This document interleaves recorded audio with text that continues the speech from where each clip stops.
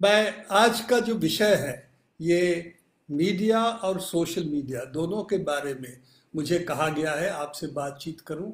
खास तौर से आज की इस हालात में, जहाँ पर एक हिसाब से मीडिया सरकार की बांसुरी बन चुकी है और दूसरी तरफ़ से जो ट्रोल आर्मी है, वो हर सही सवाल को दबाने की कोशिश में लगा हुआ है। तो ये तो आज की बुनियादी स्थिति है, जिसमें मीडिया की अगर आप राजनीतिक रूप देखें तो राजनीतिक रूप जो होना चाहिए, ताकि सरकार को, ताकत को सवाल करे जनता के हित में, उसके जगह पर जनता जनता की हित, जनता के बातें कैसी दबाई जा सकती है। सरकारी प्रोपागेंडा और जो रूलिंग पार्टी है उसकी ढोल कैसी बजाई जा सकती है, ये लगता है ज़्यादातर मीडिया का काम बन चुका है। और उसके साथ साथ जिस तरह विशैली, एक वातावरण की सृष्टि की जा रही है, खास तौर से सोशल मीडिया की सहारे से, उसका असर हम समाज के भिन्न अंगों पर देख पा रहे हैं कि मूवमेंट्स के खिलाफ आरोप, उनको ये करार दिया जाए कि एंटी नेशनल है। लोग अगर सड़क पे निकलते हैं तो उनको कहा जाता है एंटी नेशनल है।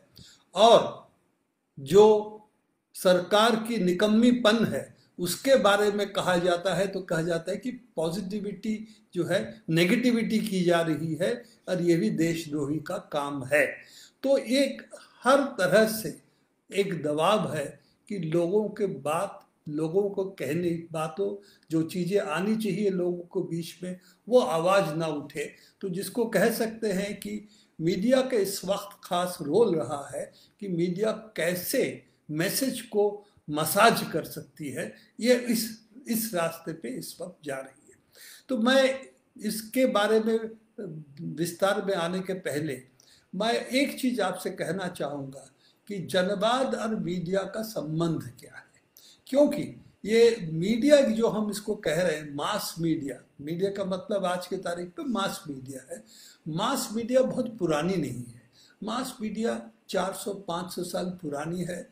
प्रिंट, जब से प्रिंटिंग प्रेस का शुरुआत हुआ, तब लिटरेसी बढ़ी लोगों में, पढ़ सकते हैं लोग खुद। और लिटरेसी बढ़ने के साथ साथ एक चाह लोगों के बीच में है जानने की। जो दुनिया एक संकुचित गाँव और या हमारा पड़ोसी के अलावा हम किसी चीज़ को जानते नहीं थे, उससे एक जिज्ञासा लोगों में हुआ कि हम दुनिया के बारे में जाने। सिर्फ़ हमारे गाँव के बारे में नहीं, हमारे आसपास की चीज़ों के बारे में नहीं, जो बड़ी दुनिया है, उसके बारे में हम जान पाए। और उसके लिए लोगों का सबसे बड़ा हथियार जो था, पहले तो सिर्फ़ था एक दूसरे से बातचीत करना। अब जो है इसमें से निकला कि जो छपे हुए चीज़ें हैं, उसकी अहमियत होने लगी और इसके ज़रिए हमारे जो ज्ञान भंडार है, जो पहले सिर्फ़ हम ज़ुबानी इसको कैप्चर करते थे और ज़ुबानी दूसरों को बताते थे, इसके जगह पर लिखना शुरू हुआ था और मास उत्पादन जब हुआ, मास प्रोडक्शन तो वो किताबों की मास प्रोडक्शन तभी हो पाई जब आपकी प्रिंटिंग प्रेस आती है, और उससे धीरे धीरे जो अखबारियत, अखबार आप कहते हैं न्यूज़पेपर जो है, वो अरे और 100-200 साल लगा जब जाके दुनिया में अखबारों की 1800 सदी में, एटीन सेंचुरी में, नाइनटीन सेंचुरी में अखबार चल पड़े। और इसके बाद बड़े तेज़ी से बीसवीं सदी में आपकी रेडियो आया, जो भी मास मीडिया का एक बहुत बड़ा हिस्सा है और उसके साथ साथ बाद में टेलीविज़न आया और अब जो है आखिरी दौर पे हम पहुँच चुके हैं जो इंटरनेट, जो शायद इस वक्त सबसे ज़्यादा असरदार दुनिया में हो रहा है मीडिया का इस फ़ेज़ में।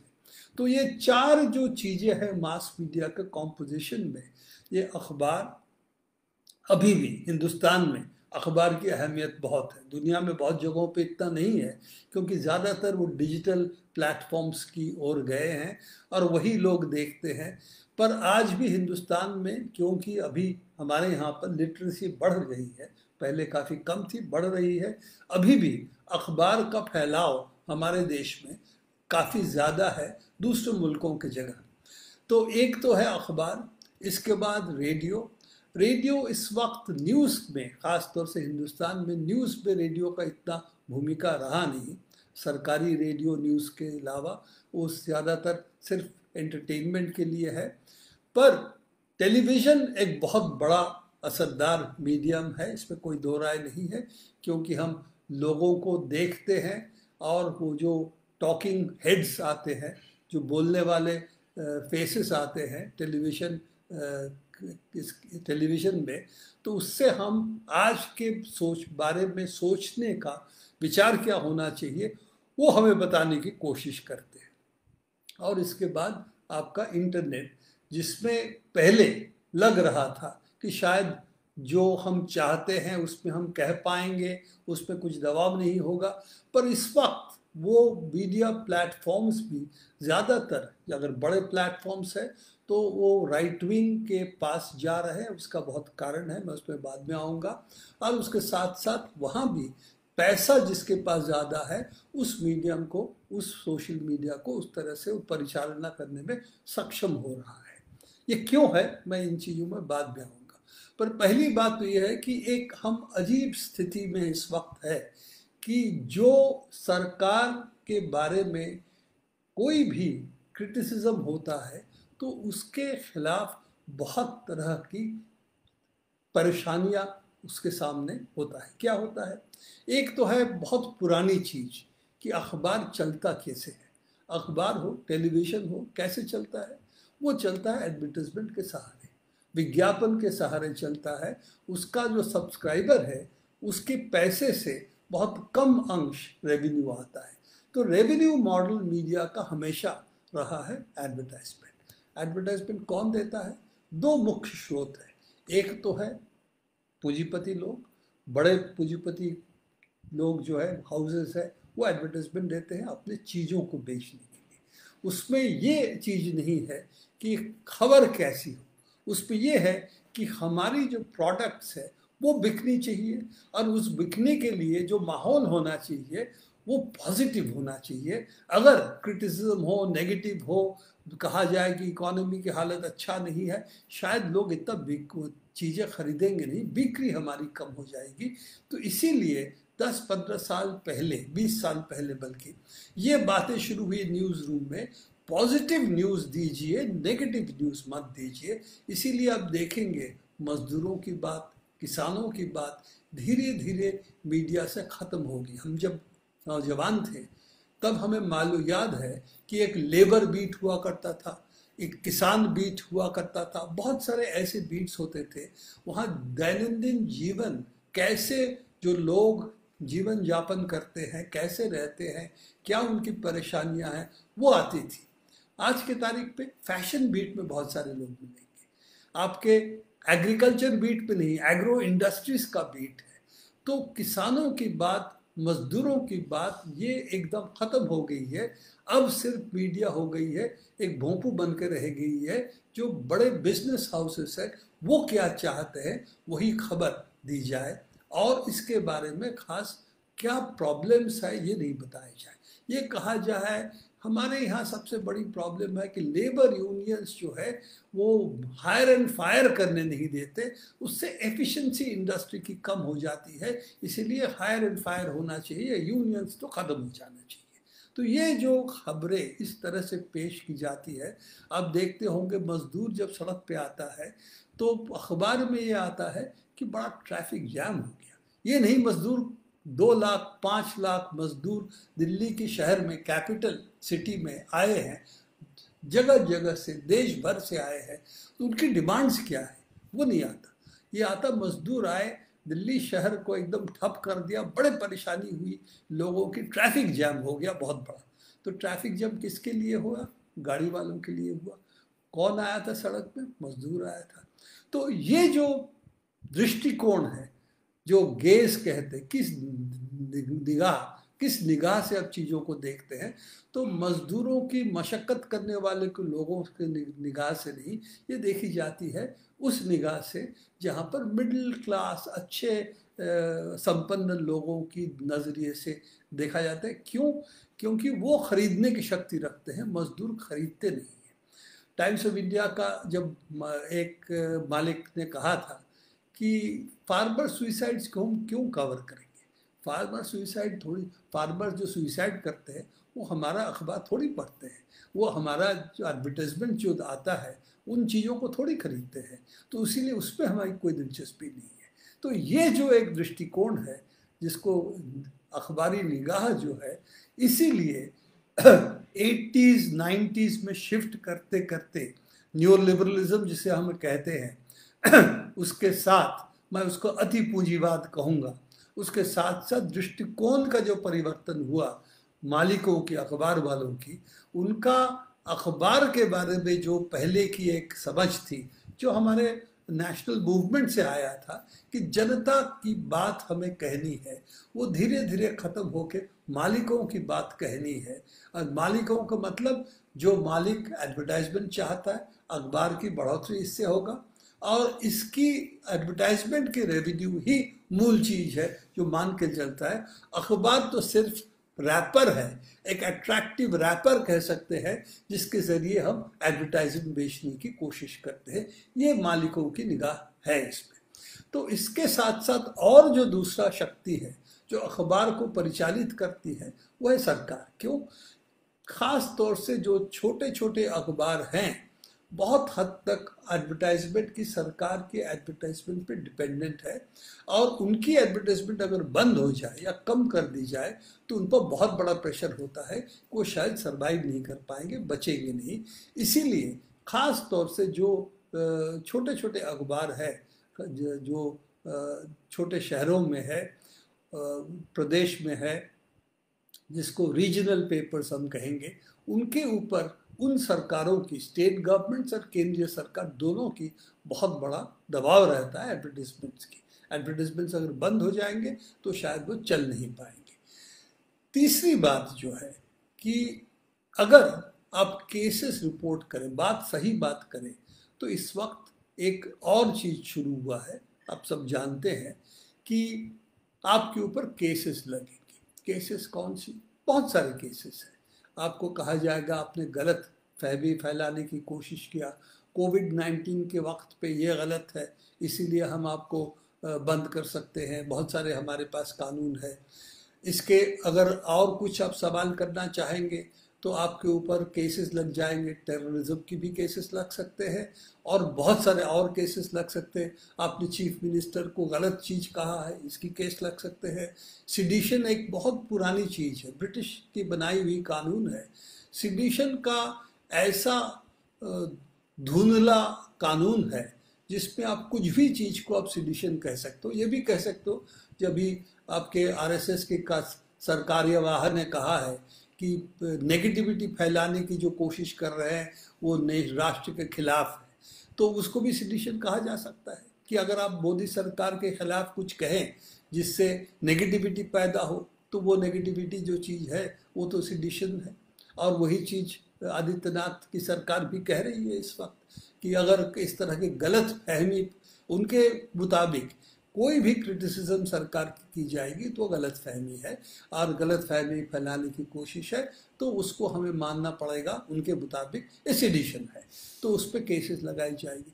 तो एक तरह से बहुत सारे ऐसे केसेस लगाए जा रहे हैं, ख़ास तौर से अगर आप ऐसे कुछ तथ्य बताएँ जिससे सरकार की काफ़ी परेशानी हो कि ऐसे केसेस यूपी में हुए हैं, जहाँ पर दिखाया गया है बच्चों की क्या हाल है लॉकडाउन में क्या हुआ था?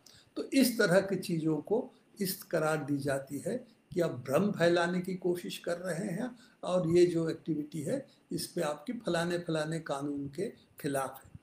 कानून देखिए एक ऐसी चीज़ है, उसमें अगर आप सही खड़े उतरना चाहते हैं, उसमें वक्त लगता है। उसके लिए आपके पास वकील होना चाहिए, आपकी केस फ़ाइल फ़ाइल फाइट करें। और इस वक्त तो ये स्थिति है कि केसेस इतने सारे लगाए जा रहे हैं और कुछ हद तक तो वकील भी इसमें घसीटे जा रहे हैं कि धीरे धीरे जो कहने वाले हैं, जो इन बातों को रखने वाले हैं धीरे धीरे उनको केसेस की जाल में फंसा के उनकी आवाज़ भी बंद करने की कोशिश हो रही है। इस वक्त तो और भी चीज़ें हैं, आप देख, देखें ही चुनाव में, चुनाव के दौरान आपने आपने बहुत बार देखा होगा कि एक के बाद एक केसेस लगाए गए हैं बहुतों पे।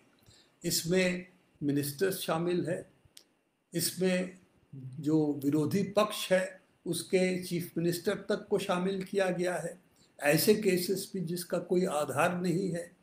इसके साथ साथ जो जो जो रेजिस्टेंस कर सकते हैं, जो लग सकता है, उनके ऊपर बहुत सारे केसेस लगाए जा रहे हैं, जा रहा है। और उसके साथ साथ एक एनआईए तो पहले से ही इस्तेमाल हो रहा था। इस इस वक्त जो है आपके कस्टम्स कस्टम्स डिपार्टमेंट भी इसमें शामिल है। इसके आपके जो कहते हैं एनफोर्समेंट डायरेक्टरेट ये भी शामिल है। तो इस तरह से धीरे धीरे केस के बाद केस लगा के मीडिया पर एक बहुत बड़ा आक्रमण भी चल रहा है। ये सिर्फ़ सिडिशन नहीं है ये सिर्फ़ जो है गलत खबर देने की नहीं है फेक न्यूज़ की नहीं है, ये जो है सु क्या कहते सुचिंतित एक कोशिश है कि जो जिसके आपका एक रिपोर्ट निकला था, आपको याद होगा कि कुछ मीडिया हाउसेस सफ़ेद हैं और कुछ मीडिया चैनल्स जो है ब्लैक है। तो जो ब्लैक हैं, उनको कैसे बंद किया जाए, उसके लिए बहुत सारे ऐसे हथियार सरकार इस वक्त इस्तेमाल कर रही है। हमारे पास एक हथियार बचता है कि कोर्ट कोर्ट पे जाए। इस वक्त कोर्ट की हालत भी आप देख सकते हैं कि सत्रह महीने का हमारे चीफ जस्टिस को वक्त नहीं मिला। कोई भी जो कॉन्स्टिट्यूशनल इशू है, कश्मीर से लेकर बहुत सारे ऐसे इश्यूज़ हैं जो आए हैं, उसको कोर्ट ने उसमें कोई भी, उसको सुनाई नहीं की, बल्कि उसको तरकाते रह गए। तो कॉन्स्टिट्यूशनल इशू सुप्रीम कोर्ट हमारे यहाँ बनी इसलिए है कि कॉन्स्टिट्यूशनल इश्यूज़ को जल्दी सुने और इसका हल करें, उसको टरका दिया गया। और उसके साथ साथ क्या टरकाया गया? जो सबसे बड़ी जनवाद के लिए सबसे अहम इशू होना चाहिए था, चुनाव में पैसे, उसका इलेक्शन बॉन्ड्स ये भी टरका दिया गया। ये भी कहा गया, इस पर क्या दिक्कत है? आपके पास अगर बैठ के वक्त अगर है तो कंपनी का बैलेंस शीट देखिए, उसके साथ साथ देखिए कितना पैसा किस कप इस बॉन्ड किस पार्टी को मिला है? अगर आप दोनों को मैच करेंगे तो आपको पता चल जाएगा किसको, किसने कहाँ पैसा दिया है। तो हमारे पास क्या वक्त है? आम जनता के पास बीस हज़ार कंपनी की बैलेंस शीट हम ढूंढे, कौन कितना दिया है? ये सुप्रीम कोर्ट का राय रहा ये बात भूलिएगा कि मैं ये नहीं कह रहा हूँ, सुप्रीम कोर्ट की जजमेंट भी ये है कि इसीलिए इस पर कोई सीक्रेसी की बात नहीं है, इसीलिए इसको बाद में देखेंगे, आज देखने की कोई ज़रूरत नहीं है। इस तरह से तीन साल गुजर गया, जो इलेक्शन बॉन्ड जो एक बहुत बड़ा चुनाव में एक बहुत बड़ा सवाल है कि कोई भी कंपनी चाहे देश की हो, विदेशी हो, कितना मुद्रा भी किसी भी पार्टी को दे सकता है, गुप्त तरीके से, और इसका कोई, जो वोटर्स है जो वोट देते हैं, उसके इसके बारे में कोई जानकारी नहीं होगा। ये पहले ब्लैक मनी दिया जाता था, अब वो कहते हमने ब्लैक से वाइट कर दिया। इसका मतलब ब्लैक को अगर आप वाइट कर देते हैं, जो चीज़ है, गुप्त धन, राजनीतिक पार्टी को देना, वो गलत नहीं है। वो आप अगर लीगल तरीके से, गुप्त तरीके के दे पर धन दें तो ठीक है। ब्लैक मनी दे, ये गलत है। अगर आप व्हाइट मनी गुप्त तरीके से दे तो जनवाद में इस पर कोई आँच नहीं आता। ये जो एक, क्या कहते हैं, एक बहुत ही काल्पनिक एक सवाल खड़ा कर दिया गया कि हमारी ऑब्जेक्शन ब्लैक मनी की थी। हमारी ऑब्जेक्शन था गुप्त तरीके से राजनीतिक पार्टियों को खरीदा जा रहा है पैसे के सहारे। ये गलत है जनवाद के लिए। ये हम लोगों का कहना था। उसके जगह में कहा, ब्लैक बनी की जगह अगर गुप्त तरीके से व्हाइट बनी दी जाती इस पर क्या दिक्कत है? तो ये जो चीज़ अभी सरकार ने कर चुका है, इस पर भी हमारे कोर्ट ने कोई फैसला नहीं दिया, इसको भी स्थगित कर दिया। तो इसीलिए कोर्ट्स के इस वक्त क्या स्थिति रहेगी? कोर्ट्स कैसे रिस्पॉन्ड करेगी? कोर्ट्स क्या इसमें दखलंदाजी करेगी हमारे पक्ष में? ये अभी देखने वाले हैं। अगर अर्नब गोस्वामी होता तो बहुत तुरंत चीफ जस्टिस से लेकर सब इस पर सुनने के लिए तैयार होता है। कप्पन जो हाथरस जाने जा रहा था, जर्नलिस्ट है, वो अभी भी जेल में बंद है, कोर्ट के पास उसके बारे में सुनने की वक्त नहीं है। तो ये एक बहुत बुरी हालात से इस वक्त हम गुजर रहे हैं। और इसीलिए हमारी मीडिया पर इस तरह जो प्रहार इस वक्त है मैं समझता हूँ तीन तरह के प्रहार हैं। एक तो है प्रहार पैसे की। किस राजनीति वो चाहते हैं और वो उस राजनीति को चाहते हैं जिससे उनका फ़ायदा हो। पैसा जिसके पास है, बड़े पूंजीपति, उनके हित में मीडिया चलता है। उसके साथ साथ पहले कम से कम दबाव होता था कि आपको मीडिया के जो नियम है कि सच बोलेंगे। कुछ हद तक चीज़ों को आप लोगों को सामने लाएँगे, नहीं तो आपकी छवि खराब हो जाएगी, आपके सर्कुलेशन भी शायद खराब हो जाएगी। इसके लिए भी आपको कुछ कहना है, कुछ अखबार, कुछ सच्चाई, कुछ रियलिटी को सामने लाना है, ये भी शायद धीरे धीरे कमज़ोर हो रहा है। धीरे धीरे भोंपू के तरह, पूंजी की भोंपू जो कहेंगे कि चाहे हालत ख़राब हो आप कहेंगे कि नहीं इकोनॉमी बड़ी अच्छी स्थिति में है, क्योंकि हमारा स्टॉक मार्केट बढ़ रहा है। अरे भाई स्टॉक मार्केट से लोग खाएँगे क्या? शेयर मार्केट बढ़ रहा है शेयर की दाम बढ़ रहा है, उससे हमारी आमदनी से क्या संबंध है? हम जो खाना खा सकते हैं, खरीद सकते हैं, उसके साथ इसका क्या संबंध है? मजदूर जो मशक्क़त करके जो मजदूरी करता है, उसके साथ इसका क्या संबंध है? क्या उसकी रोज़गार बढ़ रहा है? जो किसान है, उसके इसके साथ क्या संबंध है? पर शेयर मार्केट इस वक्त की उसकी खबर जो है, अखबारों के पेजेस में छाया रहता है। कहा जाता है यही इकोनॉमी है। इकोनॉमी शेयर मार्केट नहीं है। इकोनॉमी है, आम इंसान कैसे रहता है, क्या पढ़ता है, क्या खाता है। ये ये है इकोनॉमी रियल इकोनॉमी की खबर ना दे के मीडिया पूंजीपति जो चाहता है उसकी खबर देता है। दूसरी बात, पूंजीपति और सरकार इस वक्त बड़े अच्छे संबंध में है। क्यों? क्योंकि ये पहला सरकार है जो घोषणा कर रहा है कि हम पूरे खुलेआम छूट देंगे पूंजी को। हम इस पर कोई रोक टोक नहीं करेंगे। वैक्सीन जैसी चीज़ जो दुनिया में अति पूंजीपति वाले देश, जैसे अमेरिका है, जो कैपिटलिज्म का इस वक्त कह सकते हैं, कर्णधार है वो भी कहता है, वैक्सीन जो है सबको मुफ़्त में मिलना चाहिए। उसकी जगह पर हिंदुस्तान ने इस वक्त घोषणा किया है, हम वैक्सीन कुछ लोगों को फ्री देंगे और दूसरे लोगों को माई मार्केट से खरीदना पड़ेगा। स्टेट गवर्नमेंट्स को भी अपने उस कंपनियों से खरीदना पड़ेगा। खुद उससे नेगोशिएट करके उस पर हमारी कोई रोल नहीं है। तो ये जो एक अति पूंजीपति वाली दृष्टिकोण इस सरकार की है, जिनको लगता है मार्केट में कोई इंटरवेंशन कहे, कोई भी हस्तक्षेप करे, वो समाजवाद की ओर चला जाता है। ये जो दृष्टिकोण है आरएसएस की बहुत पुरानी सोच है। कोई प्लानिंग जो है, वो सोशलिज्म है। तो पहले से ही कहते थे कि प्लानिंग सोशलिज्म है, हम प्लानिंग नहीं चाहते। इसीलिए प्लानिंग कमीशन को ख़त्म करके नीति आयोग बना दिया। नीति आयोग का मतलब हम कंसल्टेंसी करेंगे और कुछ नहीं हमारा प्लानिंग की कोई रोल नहीं है। हम सिर्फ़ कंसल्टेंसी करेंगे। तो ये एक दूसरी बात है कि सरकार और पूंजी की जो एकदम मिली हुई बात इसमें है तो इसके साथ साथ सरकार की तीसरी बात जो है कि एक अति राष्ट्रवाद और विभाजनकारी जो रोल रहा है, ख़ासतौर से बीजेपी की सरकार की मोदी सरकार की, कि ये देश आज़ादी ब्रिटिश के खिलाफ नहीं, आज़ादी तो मुसलमान के खिलाफ करना था। मोदी का भाषण है आपका पार्लियामेंट में 500 साल 700 साल की गुलामी।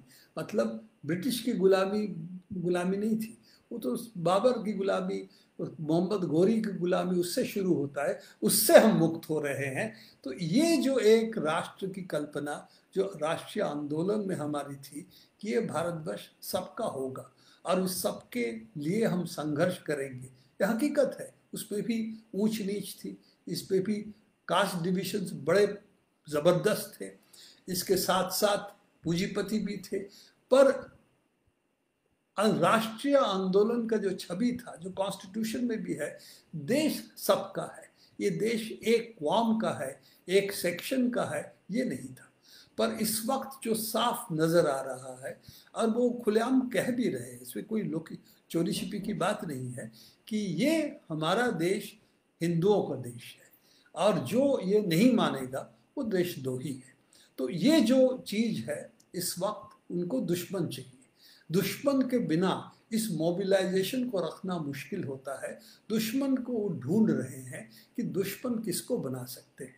दुश्मन तो एक है ही आइडेंटिफाइड मुसलमान अगर कुछ कहता है तो दुश्मन है।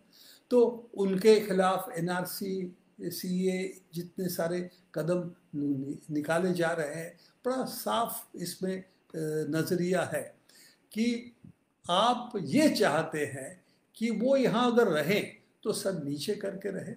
अपनी बात ना कहें और ख़ास तौर से वोट में हिस्सा न लें, क्योंकि अगर आप वोट में हिस्सा लेंगे तो आप टारगेट बनेंगे। तो ये देखते हुए आप चुनाव में हिस्सा मत लीजिए, चुपचाप रहिए और वोट न दे तो अच्छा है। तो ये जो एक दृष्टिकोण है, मैं नहीं कह रहा हूँ कि ये कितना सफल हो रहा है, कितना सफल नहीं हो रहा है, क्या कामयाब हो सकता है। मैं नहीं समझता हूँ कामयाब हो सकता है, पर एक परिकल्पना तो है कि सिविक स्पेस जिसे कहते हैं जनजीवन से एक कौम को अलग कर दिया जाए। तो एक तो एक परि जो पर, परिकल्पना सरकार की अलग अलग तरीके से हो रहा है वो आप देख ही रहे हैं। और इसके साथ साथ सोशल मीडिया की जो एक बहुत जहरीला भूमिका अब सोशल मीडिया की कुछ चीज़ें हमको समझना पड़ेगा। हमको भी गलत फहमी थी एक ज़माने में। हमें लगा था कि शायद सोशल मीडिया एक ऐसी चीज़ है, इंटरनेट एक ऐसी चीज़ है कि हम ग्रुप्स बना के खुद इसमें अपनी बातें कह पाएँगे। पर बहुत तुरंत जो सेंट्रलाइजेशन इंटरनेट स्पेस में हुआ इंटरनेट की जगत में इतनी बड़ी सेंट्रलाइजेशन हुआ है जो पहले कभी नहीं था कि अब फेसबुक और गूगल दो कंपनी ऐसी है जो करीब करीब हमारी हर कम्युनिकेशन जो हम एक दूसरे से करते हैं, वो उसके बीच में है। आप सोचते होंगे, हम इंटरनेट में कनेक्ट करते हैं। हम इंटरनेट में कनेक्ट नहीं करते। हम फेसबुक के साथ कनेक्ट करते हैं। हम गूगल के साथ कनेक्ट करते हैं। हम यूट्यूब गूगल है। जीमेल खोलते हैं गूगल है। तो जगह जगह अब जब जाते हैं अब सोचते हैं अब इंटरनेट के आप पास इंटरनेट से कनेक्ट कर कर रहे हैं। हकीकत है, अब दो कंपनियों से मूलतः आपकी पूरी कम्युनिकेशन होती है। एक दूसरे के बीच की जो कम्युनिकेशन है, वो भी उनके ज़रिए होती है। तो उनका बिज़नेस मॉडल क्या है? उनका बिज़नेस मॉडल है एडवर्टिजमेंट तो उनका एडवर्टिजमेंट मॉडल जो है, उसका नियम क्या है? नियम है, हम लोगों को कमोडिटी के रूप में उन कंपनियों को पास बेचे जो गूगल को और फेसबुक को पैसा दे सकता है। और इससे जो चीज़ें खरीदवाना है, जो अखबार में होता है, टेलीविज़न में होता है, यहाँ भी यही है कि जो खबरें हम देखते हैं, उसके साथ साथ एडवर्टिजमेंट जो आता है, जो पोस्ट हम देखते हैं, उसके साथ साथ जो एडवर्टिजमेंट आता है, जब हम उन चीज़ों को ख़रीदते हैं तो उसके लिए एडवर्टाइज़र पैसा देता है। तो एडवर्टाइज़र का पैसा देना इसीलिए है कि इस वक्त वो टारगेटेड एडवर्टाइजमेंट कर सकता है, उनको मालूम है फेसबुक गूगल दोनों को मालूम है, हमारी उम्र क्या है, हम कहाँ रहते हैं, हम क्या, किन चीज़ों पे हमारी इंटरेस्ट है, हमारे दोस्तों को किन चीज़ों पे इंटरेस्ट है, और इसको देखते हुए जिसको कह सकते हैं टारगेटेड ऑडियंस वो आइडेंटिफाई कर सकते हैं बड़े आसानी से, जो और कोई कंपनी नहीं कर सकती टेलीविज़न हो, अखबार हो, उस तरह से कौन पढ़ रहा है उसको नहीं मालूम। तो उन एडवर्टिजमेंट जो होते हैं, काली, काफ़ी बड़े पैमाने के हिसाब से होता है, दायरा बड़ा होना चाहिए, तभी शायद कुछ लोग उस पर एडवर्टाइजमेंट को देख के खरीदेंगे। पर गूगल फेसबुक का टारगेटेड एडवर्टाइजमेंट का फ़ायदा ये रहा है कि ज़्यादातर एडवर्टाइजमेंट्स अब दुनिया में धीरे धीरे गूगल और फेसबुक के पास जाने गूगल और फेसबुक का लॉजिक क्या है? अपने पोस्ट कौन सा आपको दिखाएँगे? कौन सा आप देखना चाहेंगे? कौन से लोगों के साथ आपको वो कनेक्ट करना चाहेंगे? ये अगर सब चीज़ देखें तो मूलतः इसमें ये उनका भूमिका रहता है कि आप जो चीज़ें वायरल हो सकता है, उन चीज़ों को इन प्लेटफॉर्म्स पुश करते हैं। क्यों पुश करते हैं? उस पर आई वॉल जिसे कहते हैं, लोगों को दृष्टि उस पर ज़्यादा आता है। तो लोगों को दृष्टि आकर्षण कौन सा चीज़ करता है, अगर सोशल मीडिया में देखेंगे तो आप ख़ास तौर से ये देखेंगे, जो जिसमें झगड़ा है, जिसमें इमोशंस को राउज करता है इमोशंस को ऊपर पहुँचा देता है, जिसमें हेट्रेड फैलाने में जो सफल होता है, इन पोस्ट की ट्रैक्शन ज़्यादा एक एमआईटी की स्टडी हो चुकी है इसमें। और बहुत सारे और इनकी, इन कंपनियों खुद की स्टडी है कि जो डिविसिव पोस्ट है, जो सनसनीखेज पोस्ट है, जो फेक न्यूज़ है, उनकी ट्रैक्शन उनकी वायरलिटी जिसे कहते हैं, इन प्लेटफॉर्म्स पे ज़्यादा है। और इसीलिए उनके लिए इनको पुश करना, इनको दिखाना, इनको दूसरों के टाइमलाइन में दिखाना, ऐसे लोगों को कनेक्ट करना ये जो है उनके लिए बिज़नेस मॉडल के हिसाब से ये अच्छा है। मैं खुद नहीं कह रहा हूँ। फेसबुक के अंदर इंटरनल स्टडीज़ है रिपोर्ट्स निकल चुकी है। दूसरी कंपनियों की गूगल की भी रिपोर्ट्स है। तो इससे एक तो है कि इनको खुद मालूम है जो सनसनी खेज खेज खबर है, जो सेंसेशनल है, जो हेट न्यूज़ जिसे कहते हैं, जिसमें ये है, उनकी ट्रैक्शन ज़्यादा है। और जो आप सोच समझ के बात कर रहे जैसे मैं बात करने की कोशिश कर रहा हूँ इसका कोई ट्रैक्शन इतना होगा नहीं। अगर मैं चीख चीख के किसी को गाली देता हूँ पाँच मिनट का भाषण वो शायद वायरल हो सकता है। मैं इस तरह से धीरे धीरे बात करके आपके साथ बातचीत करना चाहता हूँ। जो रैशनल डिस्कोर्स है जो चिंता करने के लिए लोगों को आ, सोचने के लिए लोगों को बाध्य करे उस तरह के चीज़ों का ट्रैक्शन सोशल मीडिया में नहीं है। इसीलिए सोशल मीडिया एक फेक न्यूज़ और हेट न्यूज़ का एक अड्डा बन चुका है। और ये मत समझिए कि अड्डा यूँ ही बन गया है। इस अड्डा के बनाने के पीछे इन कंपनीज़ की एल्गोरिथम्स की बहुत बड़ा हाथ है। कौन सा न्यूज़ आपको दिखाएगा, कौन सा चीज़ आपको कौन सा लोगों के आपके साथ कनेक्ट करेगा, कौन सा ग्रुप्स बनाने में मदद करेगा, इन सब चीज़ों की, इसके पीछे एक बहुत बड़ा एल्गोरिथमिक सोच है, जो इनके सो कॉल्ड एल्गोरिथम्स कहते हैं, जिसके ज़रिए फेसबुक गूगल चलता है। और उसका मुख्य जो दृष्टिकोण है, ये है कि हमारा मुनाफा कैसे बढ़े। खास तौर से पूंजी, ये मत भूलिएगा, ये पूंजीपति दृष्टिकोण से चलता है। तो कैसे पूंजी हमारी बढ़े?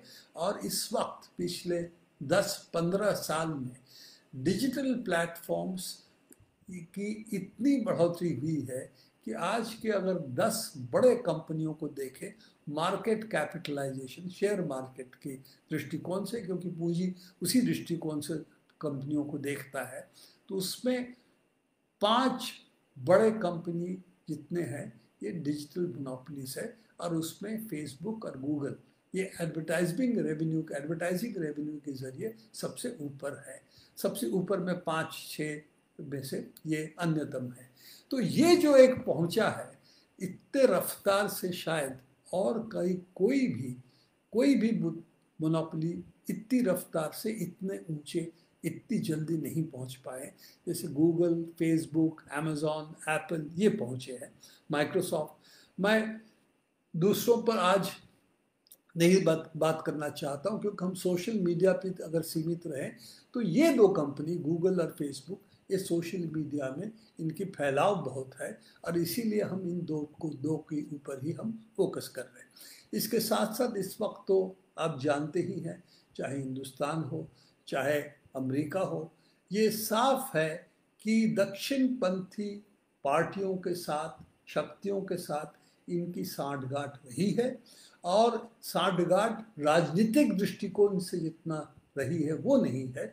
ये रही है इसलिए कि इनके मुनाफाखोरी के जो कोशिश है इस मुनाफाखोरी सफलता पूर्वक चलाना अगर है तो उसमें ऐसे चीज़ों को बढ़ावा देना जिसमें विभाजन हो जिसमें झगड़े हो जिसमें जाके लिंचिंग तक पहुँच जा, जा रहा है। आप देख ही रहे हैं हिंदुस्तान में और जिस तरह के हेट्रेड घृणा, नफरत, इसकी फैलाव जितना बढ़ाया जाए तो इसमें सोशल मीडिया में ये कामयाब होता है, ये है।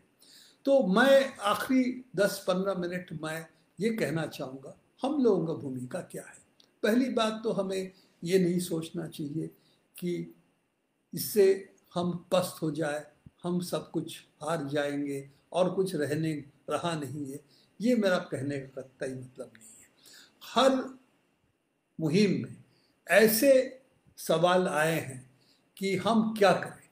और ये भी सही है, जैसे टेक्नोलॉजी बदलती है, सवाल भी बदलती है, और इसके साथ साथ हमें क्या करना चाहिए, ये भी बदलता है। तो ये मतलब नहीं है कि पुराने जो अखबार हैं, टेलीविज़न है, इसको हम छोड़ दें। हमारे हर जगह पे हम लोगों को आज के तारीख पे क्या करना पड़ेगा? नए सिरे से सोचना पड़ेगा। तो पहली बात तो ये है कि अगर हम ये सोचें कि सोशल मीडिया ही सिर्फ़ डिजिटल प्लेटफॉर्म्स है, ये नहीं है। डिजिटल प्लेटफॉर्म्स आपके जैसे लोग जतन, आपका प्लेटफॉर्म है, वो फेसबुक में है, उसके साथ साथ आपकी वेबसाइट, इस तरह से बहुत सारे हम अपने अपने ताकत से हम छोटे छोटे संगठन बना सकते हैं, जिसके ज़रिए हम अपनी बातें कह पाए। इसमें सबसे बड़ी प्रॉब्लम क्या है कि हम लोगों की सोचने का दायरा ये होता है, हमने कुछ बना दिया, हमारी है। अब ये दृष्टिकोण हमें बदलना पड़ेगा।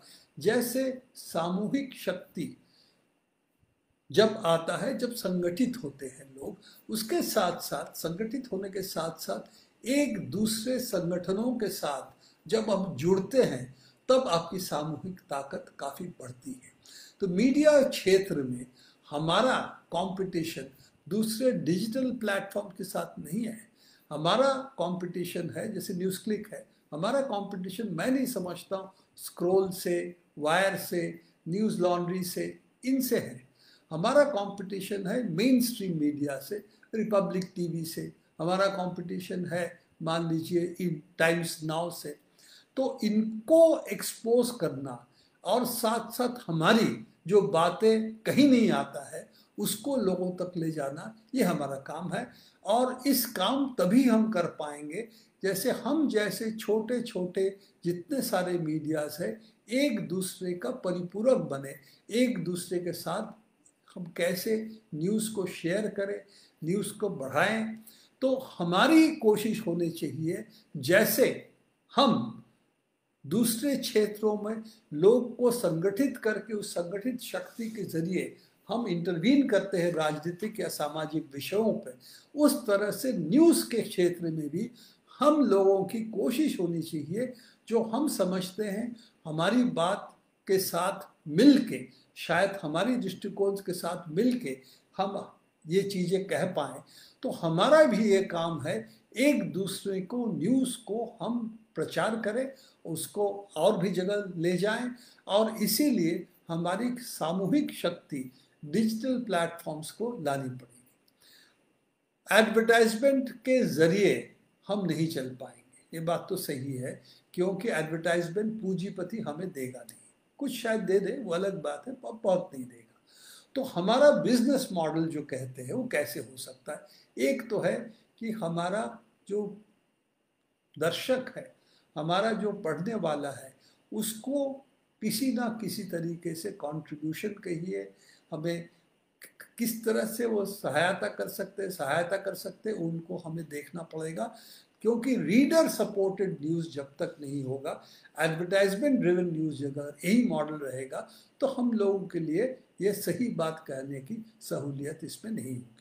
तो एक तो है रीडर सपोर्टेड न्यूज़ की हम कैसे करें? इसके लिए मैं नहीं कह रहा हूँ कि पेवाल करें, कि हमको देखने के लिए पैसा दीजिए। नहीं, हमारा ये होगा, अगर हमारी न्यूज़ आपको पसंद आती है, हमको कुछ सब्सक्रिप्शन दीजिए। कैसे दीजिए? वो हमको देखना पड़ेगा, कैसे उसको करें, पर उसकी सब्सक्रिप्शन करें। दूसरी बात है, हमारे लिए लिखिए, हमारे साथ जुड़िए, पढ़िए। लोग जतन जैसे हैं हम और लोग जतन मिल के क्या कर सकते हैं? सोचें। तो इस तरह के हमारा काम होना चाहिए कि मीडिया की नेटवर्क हम बनाएँ ताकि हम भी एक पावरफुल न्यूज़ प्लेटफॉर्म एक प्लेटफॉर्म नहीं न्यूज़ प्लेटफॉर्म्स की एक इकाई हम इस पे बनाए ताकि हम अपनी बात कह पाएँ और जो सही न्यूज़ है, वो लोगों तक तो पहुँचा पाएँ। इसके साथ साथ हमारी कुछ कुछ ज़िम्मेदारी है कि हमें जो मीडिया की प्लेटफॉर्म्स की जो नियम कानून है, उसको हमें मानना पड़ेगा। कोई भी खबर हम बिना चेक करे नहीं देंगे। फेक न्यूज़ का हम शिकार ना हो।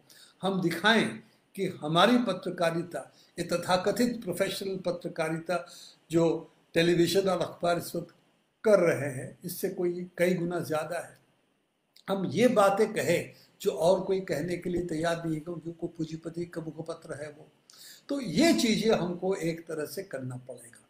दूसरी बात, हमारी विविधता। हम जो बात कहेंगे, अगर अलग अलग स्वर से वही चीज़ बहुत जगह से आती है, मैं नहीं समझता उसको रोक पाना किसी का संभव, ये संभव है।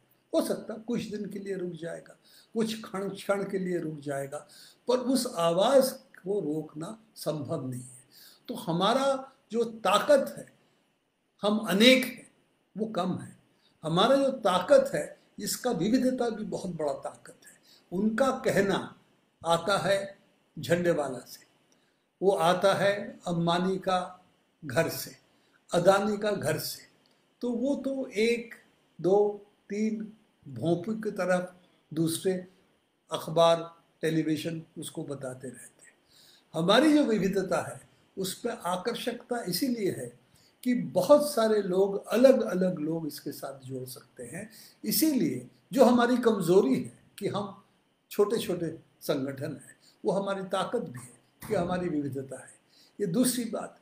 तीसरी बात कि हमारे जो इनके तौर तरीके हैं, उसको हम कॉपी करके नहीं बढ़ाएँगे अगर बहुत लोग सोचते हैं, अरे, बीजेपी ने ये किया उसके साथ साथ हम ये कर सकते हैं, वो कर सकते हैं, वो हम नहीं कर पाएँगे। क्योंकि उसके लिए पैसे चाहिए, उसके लिए मगज को कहीं पर और रख के आना पड़ेगा, बोरी बिस्तर में आपका विवेक रखना पड़ेगा। तो ये अगर आप नहीं चाहते तो आपके पास और क्या है? मैं समझता हूँ तीसरी बात जो हमारी ताकत है, वो है हमारी सृजनशीलता क्रिएटिविटी जो हमारे पास लेखक है हमारे पास गायक है, हमारे पास कवि है, हमारे पास फ़िल्म बनाने वाले हैं। इनकी संख्या इतनी ज़्यादा है जो उनको इससे बड़ी क्रोध है उनको कि ये सब जो टैलेंट है, वो पैसे से भी हम नहीं खरीद पा रहे हैं, हम डंडे से भी उनको वश नहीं कर पा रहे हैं। ये हमारी बहुत बड़ी प्रॉब्लम है और इसीलिए ये भी हमारा एक तीसरा चीज़ है कि हमारे पास बहुत बहुत जो सृजनशीलता है, बुद्धि है, उसको भी हम इस यंग में शामिल करना पड़ेगा। मैं आखिरी बात से ये ख़त्म करना चाहूँगा कि आखिरी बात मैं आपसे कहना चाहूँगा कि जब हमारे ऊपर आक्रमण होता है, हमारे ऊपर अटैक्स होते हैं तो इससे हमें घबराने की कोई बात नहीं है। इसका मतलब है कि हम कुछ हद तक सफल हो रहे हैं। इसीलिए इतना गुस्सा, इतना क्रोध, इतना घृणा, इतनी नफरत हमारे ऊपर दिखाई जा रही है और हर तरह के हमारे ऊपर आक्रमण हो रहे हैं। तो मैं समझता हूँ, इस वक्त ये अगर लोग समझें कि हम ये इस आक्रमण के सामने कैसे, सामना कैसे करेंगे, मैं यही कहना चाहूँगा। एमरजेंसी में आप जानते ही होंगे, मैं एक साल जेल रहा। एमरजेंसी में। इसी, उस वक्त भी लोग बहुत बहुत लोग सोचते थे, शायद कि इमरजेंसी कभी जाएगा नहीं, यही देश का स्वरूप बन जाएगा। चंद दिनों में वो एकदम बदल गया। बदला किसने? आम जनता ने। तो जनता पर आस्था होनी चाहिए कि ये दिन जिसमें हमें लगता है कि शायद हम बहुत पीछे चले गए हैं, ये दिन कभी भी बदल सकते हैं। जनता अगर इसमें जाग जाए, जनता अगर इन चीज़ों का खिलाफ बोलना शुरू करें तो ये इस तरह से समाज नहीं चल सकती। घृणा, नफरत से, दमन से समाज नहीं चला सकते। कुछ दिन के लिए सही, बहुत लंबे अरसे के लिए नहीं चल सकता। इस विश्वास के साथ ही मैं अपना बात आज खत्म करना चाहूँगा।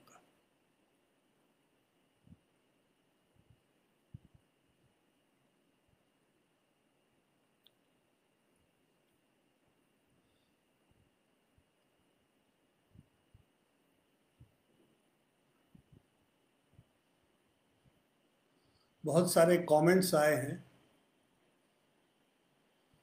किसी साथियों ने कहा फेसबुक से भी ये किसान मूवमेंट वगैरह बढ़ा है। बिल्कुल बढ़ा है। इसके साथ साथ घृणा नफरत भी बढ़ा है।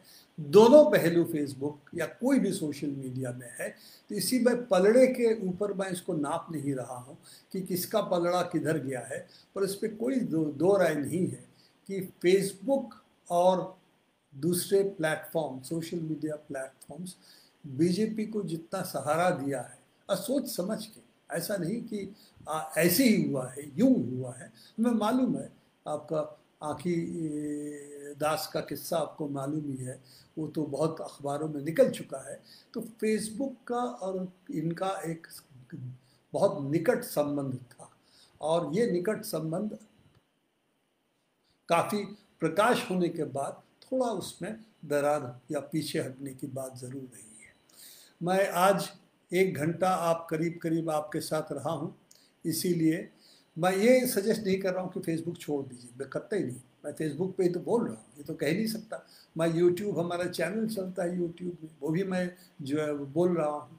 तो हमें इस पर रह के लड़ाई करनी पड़ेगी, पर हमारी लड़ाई का ये नहीं है कि पैसे दे के हम इसको जीत पाएँगे। हम ऑर्गेनाइज ट्रोल आर्मी ऑर्गेनाइज करके जीत पाएँगे। हमारे जीतने के तौर तरीके होगा कैसे हम चीज़ें को रखें, किस दृष्टिकोण से रखें, क्या कहें, कैसे कहें, और हमारी जो ताकत है, हमारे सामूहिकता, जैसे कितने लोगों जोड़ के हम कह पाएँगे, कैसे हमारे इन इन इकाई को हम बढ़ा पाएँगे, और कैसे हम इसको सृजनशील तरीके से रख पाएँगे। यही हमारे सामने चैलेंज है। धन्यवाद। मैं इसी बात से अपनी बात ख़त्म करूँगा। धन्यवाद। एक घंटा आपके वक्त लिया, इसलिए मैं आज इसी इसी से मैं अपनी बात ख़त्म